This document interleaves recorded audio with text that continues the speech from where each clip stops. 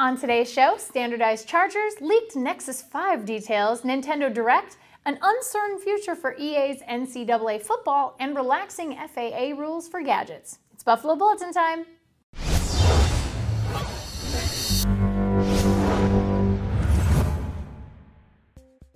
Hello, Internet, and welcome to the Buffalo Bulletin, where we recap five major stories from our site, technobuffalo.com, every Tuesday and Friday. If you're interested in reading more about any story we talk about on the show, check the description for links or click on the graphics for each story if you have annotations available and toggled on. I'm Ashley Esqueda. Here are your top stories. The European Union seems to have decided it will be going forward with calls to make micro USB charging mandatory in all mobile devices. Obviously, this is most problematic for, say, Apple, who uses a proprietary lightning charging cable. But regardless, there's this little thing I would like to let the EU know about called technology that keeps moving forward, meaning micro USB will likely die at some point.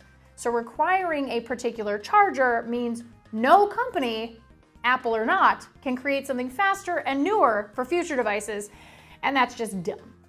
Android fans eagerly awaiting the next Nexus phone might not be waiting much longer as a combined code and photo leak early this week gave us some glimpses of what the Nexus 5 may offer. It'll be designed by LG, Android KitKat 4.4, Snapdragon 800, 2 gigs of RAM, 8 megapixel camera.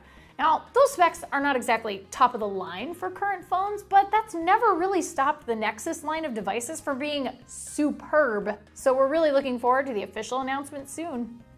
In gaming, Nintendo held another Nintendo Direct event this morning, showing off a couple new trailers and announcing some exciting news. Super Mario World 3D got a fun trailer playing as Sonic in Super Smash Bros. Wii U and 3DS is now official. A new Kirby game for 3DS was announced, and a paid DLC pack for Pikmin 3 was also revealed. I'm sure fans were really pleased with today's Direct, as these first party IPs are seeing some of that old Nintendo magic attached. I'm still waiting for a new Metroid, though. Well, this story is interesting from gaming. It looks like EA has decided they will not release NCAA football next year and announced their intent to evaluate the future of the entire series.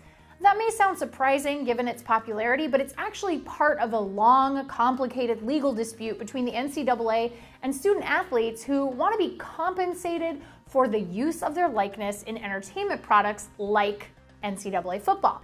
So the news is unfortunate, but hopefully a fair decision will be made for those athletes that put their bodies on the line every single game throughout their college careers. Lastly, our grab bag story for today will hopefully make frequent flyers a little bit more comfortable during takeoff and landing. An advisory panel recommended to the FAA that restrictions be lifted on mobile device use under 10,000 feet, meaning you'll be able to use your phone in airplane mode while the plane departs and arrives a welcome change to airline policy for many of us tech geeks who travel. Well, that's the Buffalo Bulletin for today. If you enjoyed the show, a thumbs up would be super awesome of you. And if you want more great Techno Buffalo video content, please feel free to subscribe to our YouTube channel by clicking this gigantic subscribe button. See you guys next time.